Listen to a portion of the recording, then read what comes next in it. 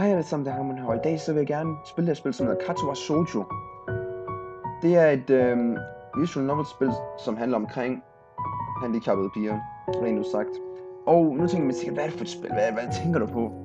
Jo, det er en visual novel, men problemet er mere, at det er det ikke på dansk. Og hvis I ikke kan finde ud af engelsk, så bliver det måske lidt svært for jer at kunne forstå, hvad der sker i spillet. Jeg havde tænkt mig at oversætte det, det havde jeg faktisk rigtig meget tænkt over. Men nu vil jeg prøve på dansk, eller undskyld, på engelsk, og også ligesom snakke mig frem sådan gennem spillet. Og jeg vil prøve nogle gange også at ligesom sige, hvad der er sket imens ligesom spillet kører hen ad vejen. Og øhm, igen, jeg har tænkt på et format, hvor jeg vil prøve at faktisk at oversætte hele spillet på dansk faktisk. For det er det et spil, alle må prøve. Øhm, forhåbentlig så er det, at jeg kan få flere til at spille det her spil ved hjælp af min let's play, eller min gameplay. Jeg ved ikke, om jeg skal lave en let's play af det, men nu ser jeg. Jeg vil starte med det, og så kan jeg se, så kan jeg se hvad folk synes om det. Så lad os starte fra begyndelsen. Katsuwa Shoujo. A light breeze causes the naked branches overhead to rattle like wooden wind chimes. Og det er meget sådan... Det er en meget billedsprogligt spil også. Men der kommer meget billedsprog og meget... Ikke filosofi, men sådan meget billedsprog, ja. Så I skal, hvis I har lært noget dansk, så er det nu, I skal bruge det. This is a popular retreat for couples in the summer. The deciduous trees provide a beautiful green canopy far out of sight of teachers and fellow students.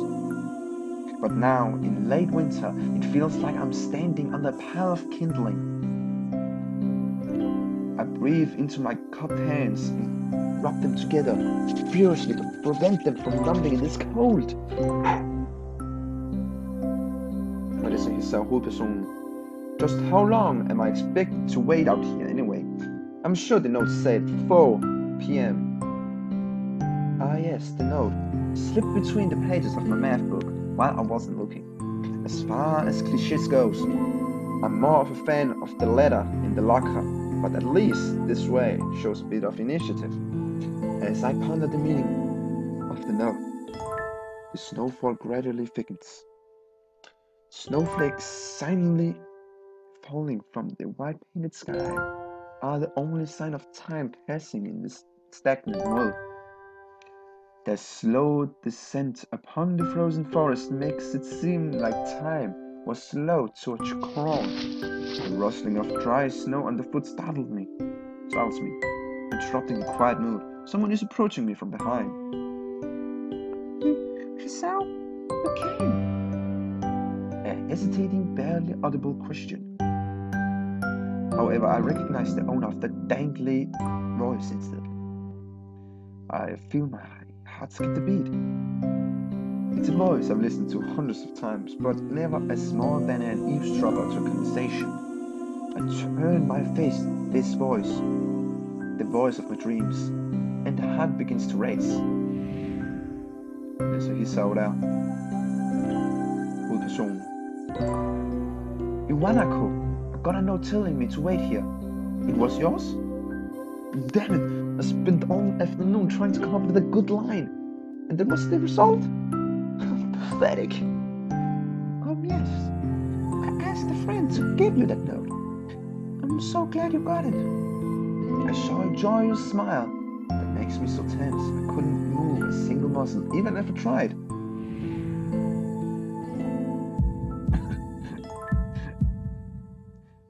Pounding now, as if it were trying to burst out from the chest and claim the skull for itself. So, um, here we are, out in the cold. Once again, the wind stirs up the branches. The cacophonous, voice is music to my ears. Iwanako flinches ever so softly against the gust of wind. As it passes, she rights herself, as if supposed by some new confidence, as supported by some new confidence. Her eyes lock with mine, and she lazily twirls her long dark hair around her finger. All the while, the anxious beating of my heart grows louder, grows louder. My throat is tight. I doubt I could even force a word out if I tried. You see, I wanted to know if you would go out with me. I stand there, emotionless, safe from a pounding heart. I want to say something in reply, but my vocal cord feels like they have been stretched beyond the breaking point. He's out. I reach up try to match it to my throat, but this only sends spikes of binding pain along my arms. He's out. my whole body freezes, save for my eyes, which shoot open in terror.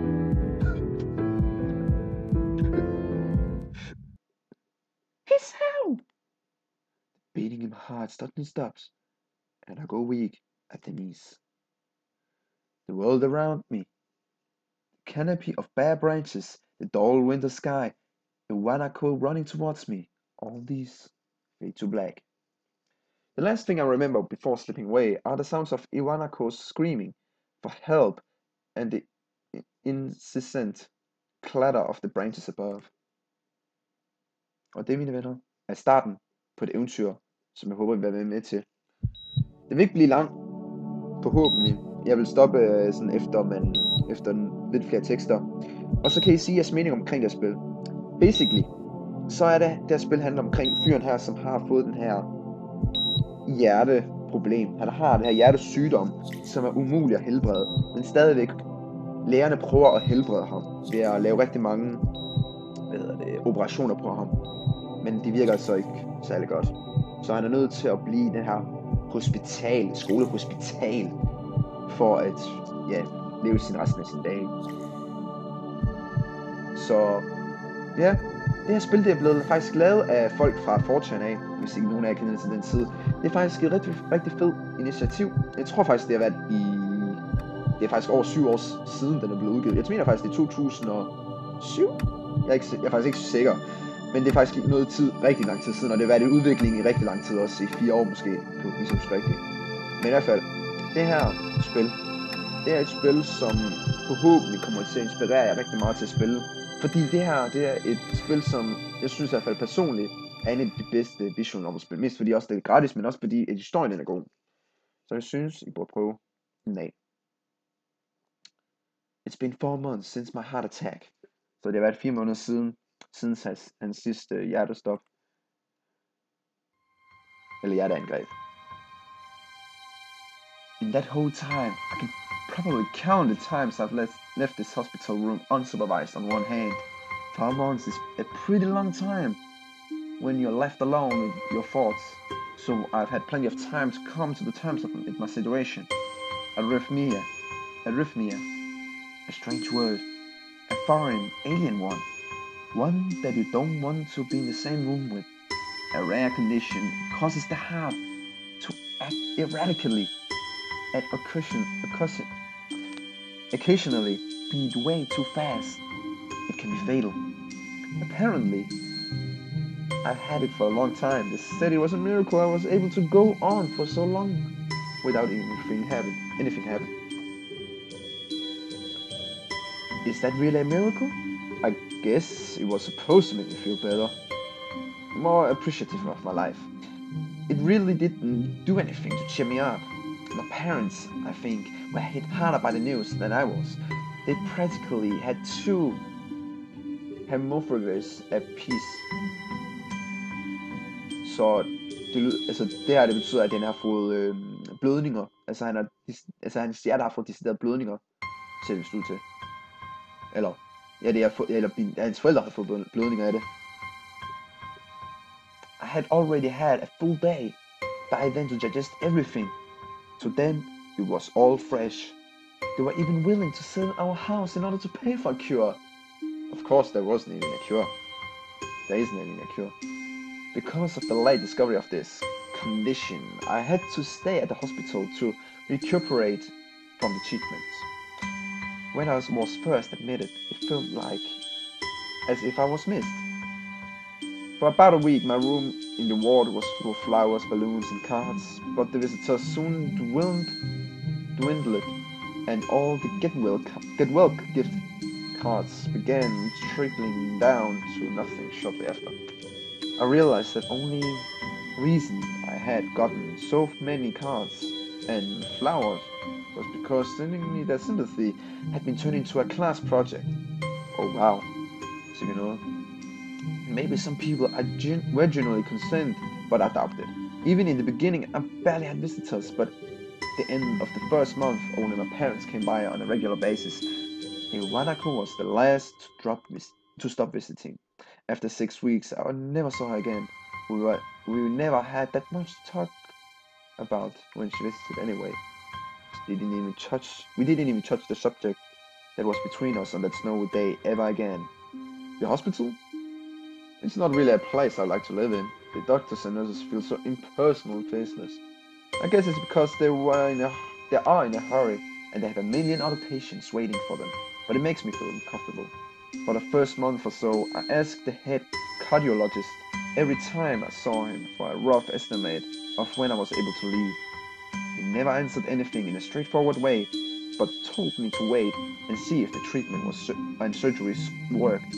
So I idly observed the scar and those surgeries had left on my chest slowly changed their appearance over time, thinking of it as some kind of an omen. I still ask the head cardiologist about leaving, but my expectations are low enough now that I'm not disappointed anymore when I don't get a reply. The way he shuffles around, the answer shows that there is at least some hope. At some point, I stopped watching TV. I don't know why, I just did. Uh, maybe it was the wrong kind of escapism for my situation. I started reading instead. There was a small library there at the hospital, although it was more like a storeroom for books. I began working my way through it, one small stack at a time. After consuming them, I would go back for some more. Yeah. I found that I liked reading, and I think I even became a bit addicted. I started feeling naked without a book in my hands, but I loved the stories. That was what my life was like. The days became increasingly harder to distinguish, distinguish from each other, differing only by the book I was reading and the weather outside. I felt like blurred into some kind of gooey mess. I was trapped inside instead of moving within. A week could go by without even noticing it. Sometimes I'd pause in realization that I didn't know what day of the week it was. But other times, all the things that surrounded me would painfully crash into my consciousness. Through the barrier of nonchalance I had to set up for myself. The pages of my book would start to feel sharp and burning hard, and the heaviness in my chest would become so hard to bear that I had to put the book aside just to lay down for a while, looking at the ceiling, as if I was almost going to cry. But that happened only rarely, and I couldn't even try. Today, the doctor comes in and gives me a smile. He seems excited, but not very. It's like he's trying to make an effort to be happy on my behalf. My parents are here. It's been a few days since I've last seen them. Both of them are even sort of, sort of dressed up. Is this some, supposed to be some kind of special occasion? It's not a party. There is this ritual that the head cardiologist has. He takes his time sorting his papers and then setting them aside as if to make a point of the pointlessness of what he just did. Then he casually sits down on the edge of the bed next to mine and looks at me in the eyes for a moment. Hello, Isao. How are you today? I don't answer him, but I smile a little back at him. I believe that you can go home. Your heart is stronger now, and with some precautions, you should be fine. We have all your medication sorted out. I'll give your father the prescription. The doctor hands a sheet of paper to my dad, whose expression turns wooden as he reads it quickly. So many. I take it from his hand and take a look at myself, feeling numb. How am I supposed to react to this? Åh oh, gud. Alle de ting, han skal tage bare for at overleve. The absurdly long list of medication. medications staring back at me from the paper seems insurmountable. They all blend together in a sea of letters.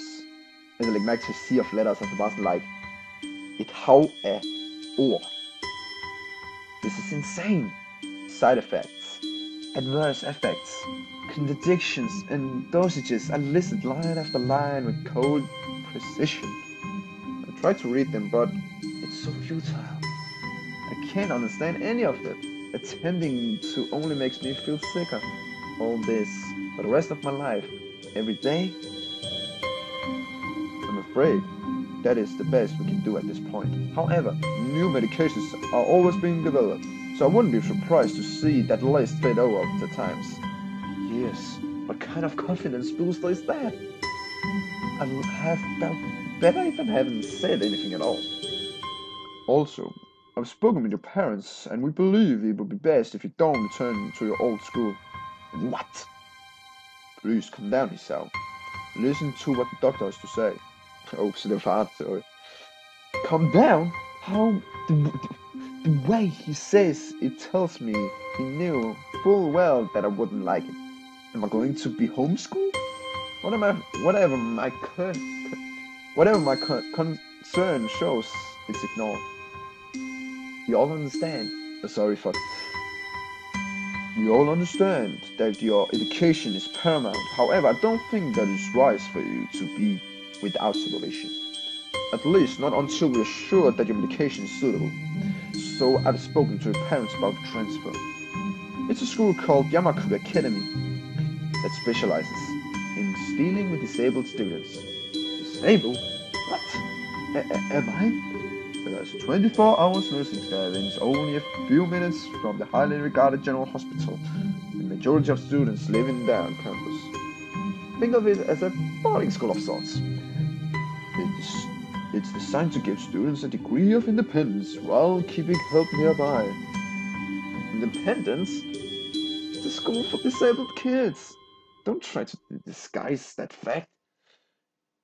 If it was really that free, mm, there wouldn't be a 24 hour nursing staff, and you wouldn't make a hospital being nearby a selling point. Of course, that only if you want to go, but your mother and I aren't really able to homeschool you. We went out there and had a look for a couple of weeks back. I think you'd like it. It looks like I really don't have a choice. Compared to the other heart problems, people with the condition usually tend to live long lives. You'll need a job one day, and this is a good opportunity to continue your education. This isn't an opportunity. Don't call it an opportunity. Don't call it a goddamn opportunity. Well, should you be excited at the chance to go back to school, I remember you wanted to return to school. And while it's and while it's not the same one. A special school? That's an insult. That's what I wanted to say. It's a step down. It's not what you think. All of the students here are pretty active in their own sort of way. It's geared towards students that can still get around and learn, but just need a little help in one way or another. The father's right, and many of the grad and many of the graduates of the school have gone to do amazing, amazing things to do amazing things. Things. A person doesn't have to be held back by the disability. One of my colleagues in another hospital is a graduate. I don't care. A person doesn't have to be held by the held back by the disability. That's what a disability is. I really hate that something so important was decided for me. But what can I do about it? A normal life is out of the question now. It's funny, I always had thought I was thought my life was actually kind of boring, but now I miss it. I want to protest, but I want to blame this lack of reaction on shock or fatigue. I could easily yell out something now, something about how I could go back to the school anyway, but no. I don't say anything. The fact that it is unknown now, it's futile. I look around the room, feeling very tired of all this. The hospitals, doctors, my condition, everything. I don't see anything that would be make me feel any different. There really isn't a choice. I know this, but the thought of going to a disabled school, what are those even like? As as as much as I try to put a positive spin on this, it's very difficult. But let me try. A clean slate isn't a bad thing. That is all I can think of to get me through this. At least I still have something, even if it's a special school. It's something. It's a fresh start, and my life isn't over. It would be a mistake to just resign myself to think that. At the very least, I will try to see what my new life, a new life looks like. Og med det, så vil jeg gerne stoppe den her lille øhm, gameplay. Hvis nogen af jer gerne vil se med mere på det her, så vil jeg anbefale, at I øhm, kiggede med. Og det ser du til lækker. Sikke en skøn dag. I dag er i dag.